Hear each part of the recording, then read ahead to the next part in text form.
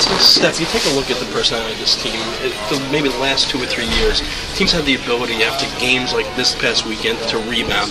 What is it about the team when they're called upon to make a statement game that they're able to respond this way? Yeah, I just think it's starts from the top of the organization. Um, it works its way down to the leaders, and it, it finishes at our young guys. Um, it's a whole group making a conscious effort to um, make sure that we compete, and um, you know, it's obviously it's way more fun playing that way than it is uh, playing like we did uh, over the weekend. Did you feel tonight that your game started to come the Yeah. way you wanted it to? Yeah, a little like bit. were talking about this morning. Yeah, a little bit. It's it's again. There's there's still parts that are.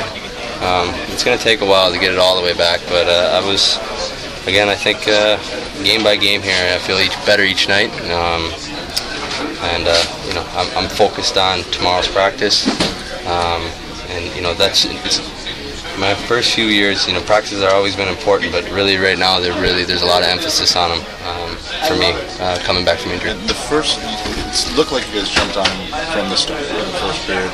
Was the key to that just pressuring them? I mean, three, three goals in the first period were off of turnovers. Yeah, no, it's it's you know it's where it's how we want to play um, every single night. Uh, you you have to pressure guys and create turnovers because uh, it's too hard to um, to make tic-tac-toe plays every single night. Um, you have to find ways to create turnovers, and that's when you get them a little bit scrambling. and That's when you can score goals. Yeah, How can you explain the difference on the weekend where you guys, the inability to get the puck with the first pass out of the zone as compared to tonight where it seemed that the guys were getting those passes immediately out of the zone? You know, I didn't think it was um, all that terrible in Toronto. Um, I think we made five mistakes that ended up in our back of our net in Toronto, um, the big ones, and they, they capitalized on them. And Sunday, I felt that it was really a struggle for the whole team. Um, so I, I think you know it's it's. I, I just said it on the, my interview out in the Cisco up in the air cam. You know, I think we did a lot of things tonight in fives. Um, we, you know, defended in five and we broke the puck out in five. And when you do that, it makes it very easy to connect dots. You talk about defending in fives, but it seemed like you guys did an excellent job tonight taking space away from Malkin and Crosby.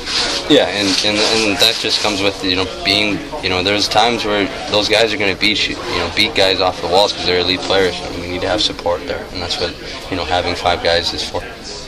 Quite, quite a drug put back on my lap. I think I won that one. I don't know. You can ask Chris tomorrow. I don't think he's very happy with it. Like he was feeling it. Yeah, I was feeling it. Like I, it's like he punched me in the gut. but I win. Right now, like a sack of potatoes.